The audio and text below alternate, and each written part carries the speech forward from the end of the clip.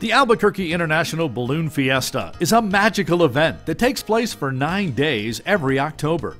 With hundreds of hot air balloons, tens of thousands of spectators, and more than 80 acres of family fun, Balloon Fiesta provides a $170 million boost to the state's economy each year.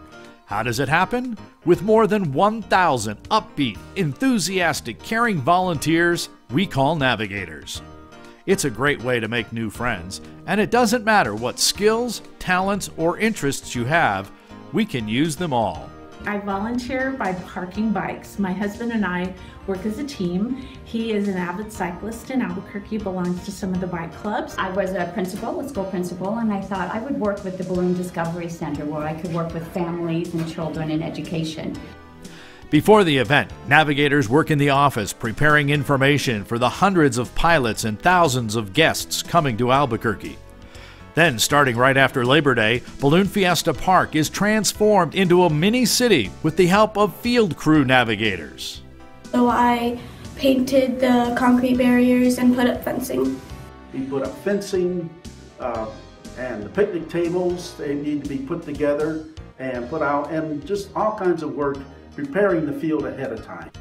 During the event is when our navigator teams really kick into high gear, serving as greeters, safety and launch officials, RV hosts, staffing pilot and sponsor hospitality, providing group tour assistance, and driving a shuttle cart are just a few of the more than 40 teams with positions available during Balloon Fiesta.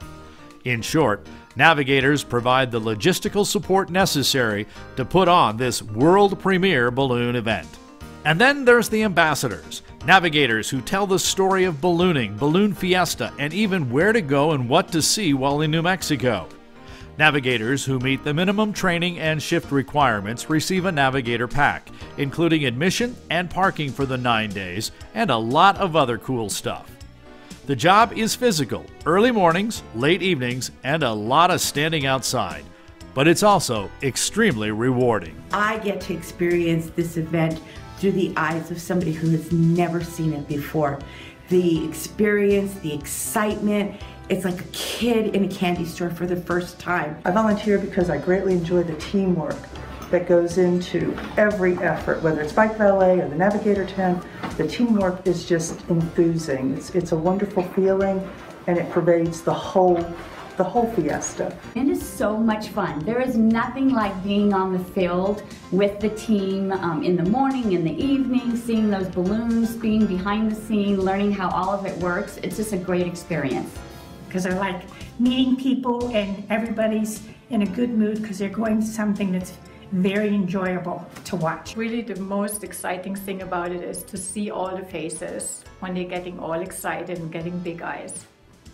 Being a navigator, you meet a lot of very nice people who are dedicated to the, the event, uh, who want to make sure that our guests come here and have a really good time.